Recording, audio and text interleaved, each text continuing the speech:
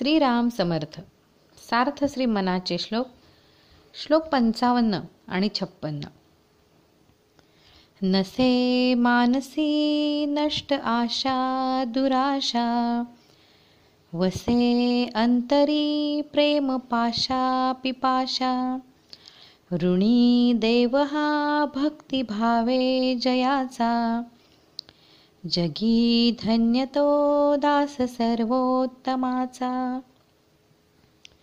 नष्ट त्याज्य बाधक वाईट आशा वासना कामना इच्छा दुराशा दुष्ट वासना भोगवासना प्रेमपाश प्रेमाचा फास प्रेमाचे बंधन प्रेमामध्ये गुरफटणे पिपाशा तृष्णा तहान उत्कट इच्छा तळमळ ऋणी देणेदार उपकारबद्ध भक्तिभाव भक्तियुक्त प्रीती शरणागत वृत्ती. ज्याच्या मनातील दुष्ट वासना नाहीशा होतातच पण साऱ्या भोगवासना देखील लय पावतात. भगवंताला प्रेमाने बांधून ठेवण्याची ज्याच्या अंतरी तळमळ आढळते आणि ज्याच्या प्रेमाने व शरणागत वृत्तीने भगवंत उपकारबद्ध होऊन राहतो. असा तो पुरुष सर्वोत्तम भगवंताचा जगातील उत्कृष्ट भक्त होय. एक भक्ताच्या जीवनास एक नाहीपणाचे व एक आहेपणाचे अंग असते. भगवंता वाचून इतर सर्व दृश्य मनाने संपूर्ण सोडणे हे नाहीपणाचे अंग तर एका भगवंता वाचून इतर कोठेही न गुंतता मन भगवत प्रेमाने भरून टाकणे हे आहेपणाचे अंग होय. भगवंत जसा अनंत तसा त्याचा प्रेमभाव देखील अनंत असतो. म्हणून भगवंताचे प्रेम कितीही भोगले तरी त्याची भक्ताची प्रेमतृष्णा शांत होत नाही. दोन भक्ताने आपल्या भक्तीने भगवंताला संपूर्ण वश करून घेणे हे भक्ताचे लक्षण आहे. भगवंत उपकारबद्ध होतो ही भक्तीची भाषा आहे. भावार्थ असा की भक्ताच्या जीवनात ईश्वरी शक्तीचा परमोत्कर्ष प्रत्यक्ष अनुभवास येतो. बहुजन समाजाला भगवंताकडे वळवण्यास लागणाऱ्या प्रचंड सामर्थ्याचा साठा भक्तांच्या वाणीमध्ये प्रकटतो. जय जय रघुवीर समर्थ. श्लोक छप्पन्न. दिनाचा दयाळू मनाचा मवाळू स्नेहाळू कृपाळू जनिदास पाळू.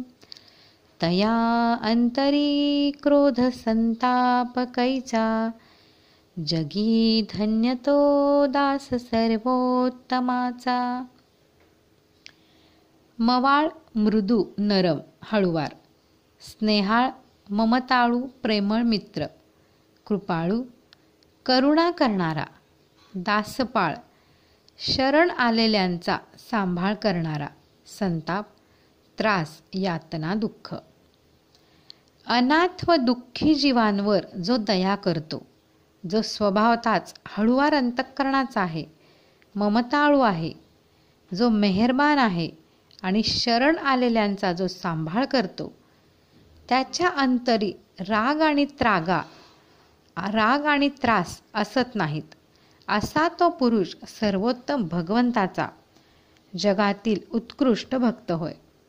एक भक्ताला भगवंताचे दर्शन झाल्यावर तो स्वतःच्या बाबतीत कृतकृत्य होतो. मग तो केवळ परोपकारापुरताच उरतो. पण त्याचा परोपकार व्यवहारी देवघेणीचा नसतो किंवा नैतिक व्यवहाराचा सुद्धा नसतो. आपल्या भोवती पसरलेली अज्ञानी दुःखी दीनजनता पाहून त्याचे दयामय अंतःकरण त्याला स्वस्थ बसू देत नाही.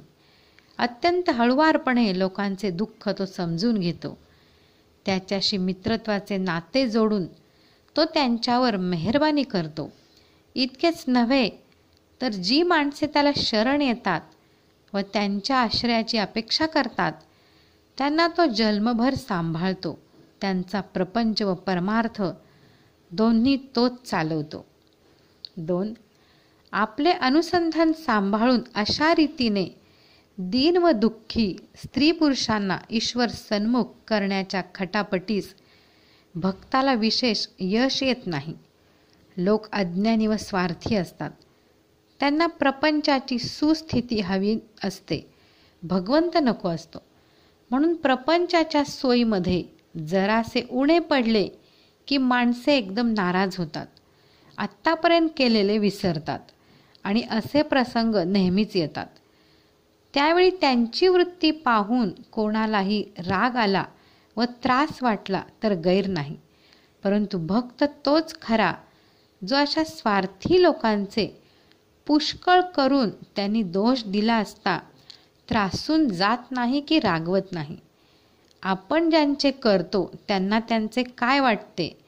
यापेक्षा आपल्या भगवंताला ते आवडते म्हणून भक्त लोकांच्या मदतीला धावून जातो. किंबहुना ज्याचे आपण करतो त्याच्या हृदयातील भगवंताकडे त्याचे सतत लक्ष असल्यामुळे अज्ञानापोटी कोणी वाईट वागला तर त्याबद्दल तो चिडून जात नाही. काय करावे? लोक काही बरे नाहीत अशी तक्रार करणे हे काही सर्वोत्तमाच्या दासाचे लक्षण नव्हे. उलट जनतेची काहीतरी सेवा आपण करू शकतो याबद्दल तो स्वतःच भाग्यवान समजतो. जय जय रघुवीर समर्थ.